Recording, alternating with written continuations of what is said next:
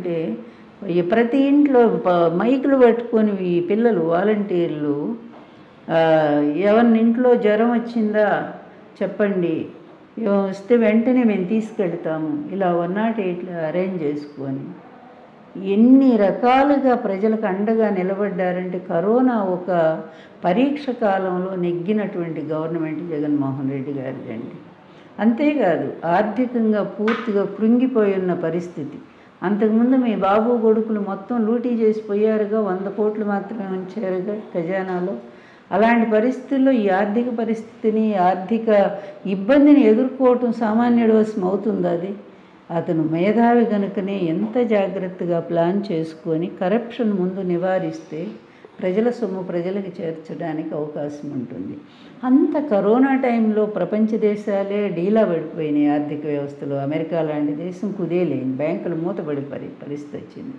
అట్లాంటి పరిస్థితుల్లో ఆంధ్ర రాష్ట్రాన్ని నిలబెట్టి ఈరోజు జిఎస్టీలో నంబర్ వన్ స్థాయిలో నంబర్ వన్లో ఉన్నాము జిఎస్టీ చెల్లింపుల్లో.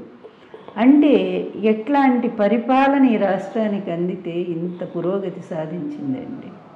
ఒకవైపు ఈ ఈ ఆర్థిక సమస్యల్ని ప- చేసుకుంటూ ఇంకొక వైపు అభివృద్ధి పదంలో ఆంధ్ర రాష్ట్రాన్ని ముందుకు నడిపించుకుంటూ ఎంతోమందిని మరి ఆహ్వానించి ఈ పెట్టుబడిదారుల్ని వాళ్ళ చేత పెట్టుబడులు పెట్టించి అవన్నీ చాలా ప్రారంభమైనవి కొన్ని తుది దశకు వచ్చాయి ప్రారంభం కాబోతున్నాయి. ఇలాంటి పరిస్థితిని చేస్తూ మిగిలిన అసలు ఆదాయ మార్గాలు. అతని ఆలోచనకి అతని మేధస్సుకి ఉండే మనం తార్కాణం ఏంటంటే రాష్ట్రంలో ఉన్న సహజ వనరుల్ని ఎలా ఉపయోగించుకోవాలి ఆదాయ మార్గాల్ని ఎలా మనము కనిపెట్టాలి వాటి ద్వారా దాంట్లో ఫిషరీస్ ఒకటండి. తర్వాత ఈ ఇప్పుడు మనకున్నది ప్రధానంగా ఏంటంటే తీర ప్రాంతం. దాదాపు తొమ్మిది వందల కిలోమీటర్ల పైనే ఉండే తీర ప్రాంతం. ఈ తీర ప్రాంతం ద్వారా మనం ఎట్లా డెవలప్ కావచ్చు? ఇక హైదరాబాద్ అనేది మర్చిపోండి ఆయన అనుకున్నది. అయిపోయింది. ఇంకా అది గతంలో అయిపోయింది. హైదరాబాద్ గురించి ఆలోచించదు మన ఆంధ్రప్రదేశ్ని మనం ఎట్లా నిలబెట్టుకోవాలి? తొందరగా ఏది మనం కూడా ఒక రాజధాని త్వరగా డెవలప్ అవ్వడానికి అవకాశం ఉంటుంది. దాంతోపాటు ఇతర ప్రాంతాలను కూడా మనం ఎట్లా డెవలప్ చేసుకోవాలి? అనే ఒక నిర్మాణాత్మకమైన ఆలోచన విధానంలో ఆయన ఈ వికేంద్రీకరణ పద్ధతి తీసుకొచ్చారు. ఆయనకి ఇందులో ఏ స్వార్థం లేదండి. ఏ విధమైన కరప్షన్ ఆంధ్ర రాష్ట్రంలో లేదండి. మొత్తం కూడా పారదర్శకమైనటువంటి ఒక పరిపాలనా విధానంలో ఎప్పుడైతే కరప్షన్ లేదో నీకు పరిశ్రమలు వస్తాయి ఆ రాష్ట్రానికి. దోపిడీ ఉన్న చోట ఎట్లా వస్తాయి? భయపడి పారిపోతారు. గతంలో అదే జరిగింది.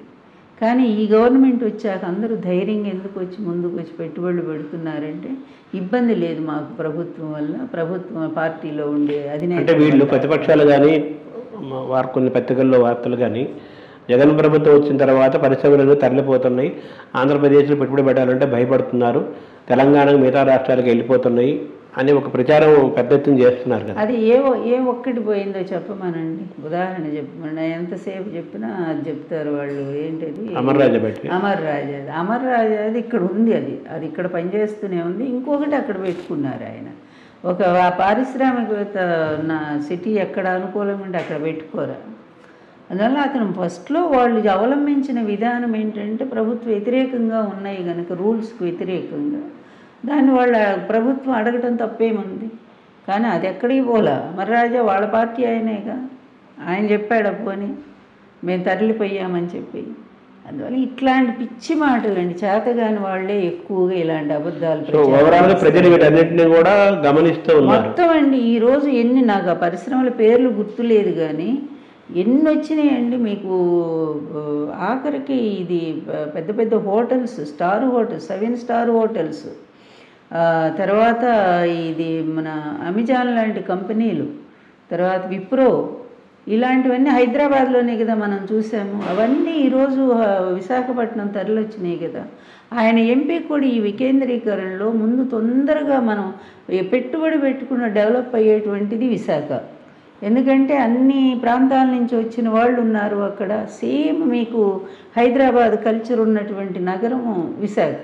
అందమైన నగరం. బీచ్ ఒడ్డున అంత అందమైనటువంటి సిటీ త్వరగా మనకు రాజధానిగా లేకపోతే ఏళ్ళు ఏళ్ళు రాజధాని గురించి అమరావతి భూముల గురించి ఆలోచిస్తూ కూర్చుంటారండి ఎవరైనా సరే. కార్యశీలు ఎప్పుడు కూడా ఒక చోట ఆగిపోడు. రెడీమేడ్ నగరం. రెడీమేడ్. ఎంత తొందరగా మనకు రాజధాని నగరం డెవలప్ అవుతుందో అంత తొందరగా ఇంకా మిగిలిన వాళ్ళందరూ కూడా వస్తారు. అలాగే మన ఆదాయం పెరుగుతుంది. మిగిలిన అన్ని ప్రాంతాలను కూడా డెవలప్ చేసుకోవచ్చు అనే ప్రాతిపదికతో అన్ని ప్రాంతాల్లో ఇస్తున్నాడు. పరిశ్రమలు ఒక్కచోటే పెట్టాడు కడపలో కూడా ఎన్ని మొన్ననే కదా కడప కూడా ఆయన హోటల్స్ ఆయన ఎవరో వచ్చి పెట్టారు అక్కడ కదా? ఓవరాల్గా మీరు చెప్తున్న ఈ నాలుగు వందల సంవత్సరాల పరిపాలన చూస్తే అభివృద్ధి సంక్షేమము ఈ రెండు కూడా సమాంతరంగా జరుగుతున్నాయి.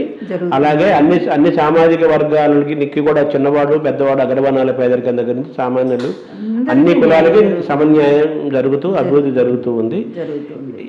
ఈ పోటీల్లో ప్రతిపక్షాలు అనేవి నిలబడలేకపోతున్నాయి. కేంద్రంలో మా ప్రభుత్వం కాదు కదా మాకు అనుకూలమైంది కాదు కదా బీజేపీ గవర్నమెంట్ కదా.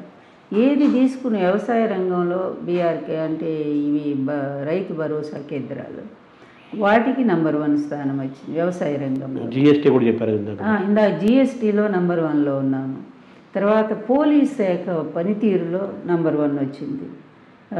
తర్వాత దిశ యాప్ తీసుకురావటంలోనూ దాన్ని మహిళలు ఉపయోగించి కొన్ని కోట్ల మంది దాన్ని తీసుకున్నారు. అది ఆంధ్ర రాష్ట్ర నెంబర్ వన్. తర్వాత వాలంటీరు. ఈ వాలంటీర్ వ్యవస్థ ఈరోజు చాలా రాష్ట్రాలు.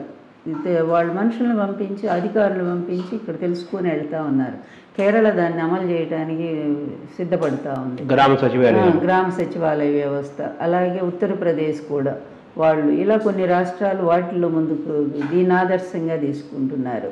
ఇలా ఏ చూసినా కూడా అప్పుల్లో ముంచిపోయిన ఆంధ్ర రాష్ట్రం మూడున్నర లక్షల కోట్ల అప్పులు మిగిల్చిన చంద్రబాబు నుంచి ఆ దుర్మార్గ పరిపాలన నుంచి వయసులో చిన్నవాడైనా కూడా ఆయన కొడుకు వయసు ఉంది అబ్బాయికి ఫస్ట్ మొదటి పరిపాలన అయినప్పటికీ కూడా ఎంత జాగ్రత్తగా ఇది ప్రజల సొమ్ము అనే ఒక బాధ్యత కలిగి వ్యవహరించడం ఉంది. అది నిజమైన పరిపాలన. కూడా ప్రజలు హండ్రెడ్ పర్సెంట్ ప్రజలు అమాయకులు కాదు చాలా తెలివైన వాళ్ళు. ఎవరి పరిపాలన వల్ల వాళ్ళకి మంచి జరుగుతూ ఉందో ఎవరి పరిపాలనలో వాళ్ళు నష్టపోయారో ప్రజలకు తెలుసండి.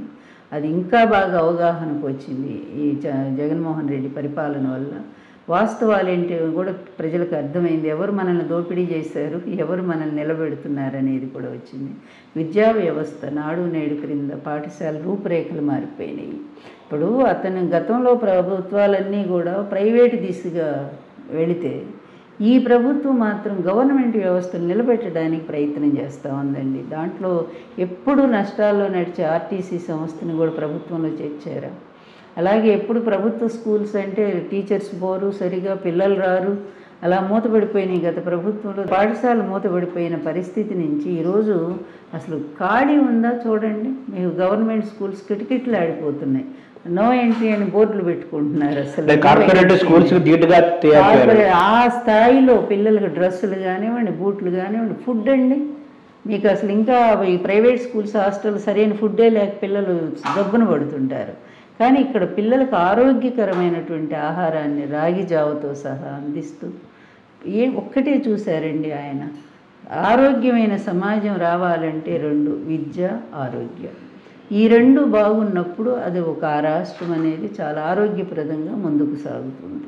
అని అందుకే పోషకాహారం దానికి తోడు ఇది హాస్పిటల్స్ అండి ఎంత బాగా రన్ అవుతున్నాయి. అని తోడు పదిహేడు మెడికల్ కాలేజీలు. చరిత్రలో ఎక్కడైనా ప్రభుత్వం మెడికల్ కాలేజీలు పదిహేడు తీసుకురావడం అంటే చరిత్రలో విన్నామా మనము? ప్రైవేటీ కాదు ఇవి. ప్రభుత్వం తీసుకొస్తున్నటువంటి. దాని ద్వారా ఎంతమంది పేదలు లబ్ధి పొందుతారండి? దాని తోడు పల్లె వైద్యం. ఒక డాక్టర్ ఇంటికే వెళ్ళి వారానికి రెండు రోజులు ఏమేమి జబ్బులు ఉన్నాయో వాళ్ళని పరీక్ష చేసి అక్కడే సాధ్యమైన మందులు ఇచ్చి సాధ్యం కాని పైకి రాసి ఇంత కేర్ తీసుకుంటున్నారంటే తల్లిదండ్రి కూడా పిల్లల్ని అంత కేర్ తీసుకోరండి. రాష్ట్ర ప్రజలందరినీ తన పిల్లలుగా భావించి ఈరోజు పరిపాలన సాగుతూ ఉంది. అంటే అప్పుడు ఆంధ్రప్రదేశ్ నుంచి ఆరోగ్యప్రదేశ్ వైపు తీసుకెళ్తున్నారు మీరు. ఆరోగ్యప్రదేశ్ వైపు అడుగులు వేయటమే కాదు దాంట్లో నిలబడింది కూడా ఈరోజు ఆంధ్రప్రదేశ్.